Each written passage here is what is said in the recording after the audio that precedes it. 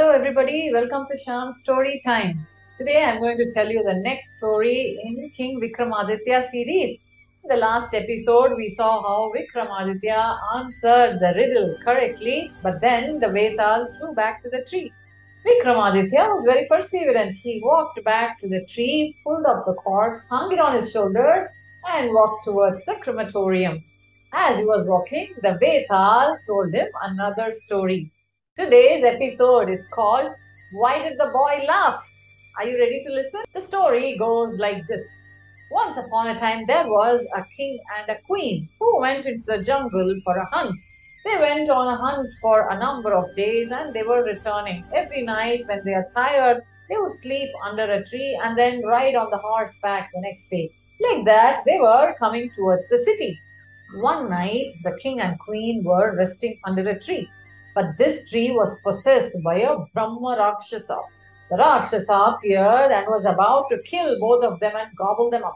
But the queen pleaded with the Rakshasa, saying, Please don't eat us up. You can ask for anything. We will do whatever you ask.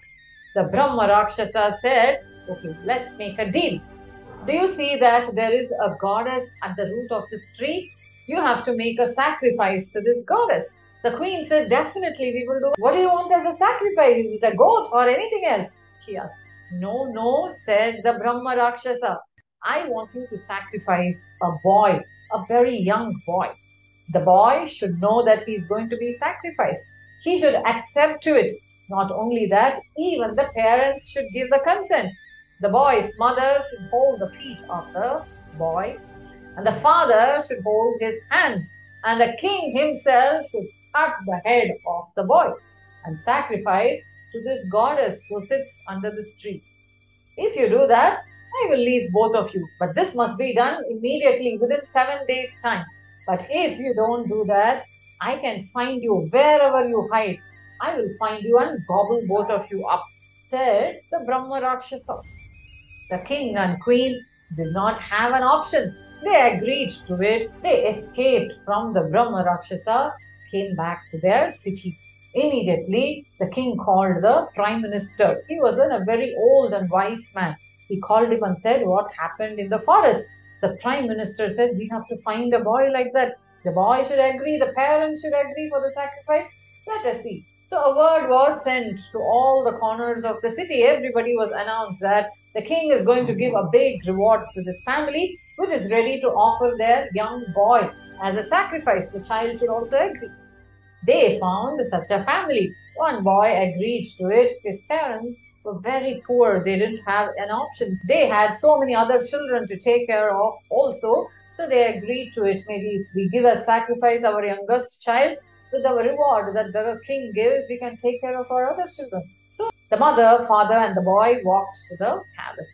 So the king accepted. All of them were taken to that tree, exactly the same tree in the forest where there was a goddess at the root of the tree. The boy was made ready. The boy accepted. He agreed that he is going to be sacrificed. The mother and the father held his hands and feet. The king was ready to chop off the boy's head. He picked up the sword. When he was about to chop it off, the boy laughed. He gave a big laugh. All the people that were surrounding saluted the boy. The Vetal stopped here. The question he asked Vikramaditya was, Why did the boy laugh? And he also reminded the king. The Vetal said, If you utter a word, I will fly back to the tree. But if you know the answer to this riddle and still keep quiet, your head will burst into a million pieces. King Vikramaditya, as always, smiled a bit and gave the answer. The boy laughed simply because of this reason. Usually, when any boy has a problem, he would approach the parents. If the parents are unable to solve it, they would approach the king. If even the king is unable to solve it, they would approach the god. In this case, the boy's parents were helping with the sacrifice, and the king was sacrificing the boy for the sake of the god. Thinking about this, the little boy laughed, said Vikramaditya.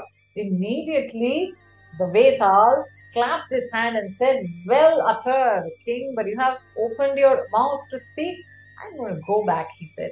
The Vetal disengaged itself from Vikramaditya and flew back to the drumstick. Vikramaditya once again walked to the tree and he picked up the Vetal. He told him another story, but that's for the next episode. Stay tuned, okay? Did you like today's story? If you did, subscribe to my YouTube channel, Shyam Story Time. You will have access to all the stories that I upload. Every Saturday, there is a story about King Vikramaditya in English. And on Sundays, you have a Panchatantra story in Tamil.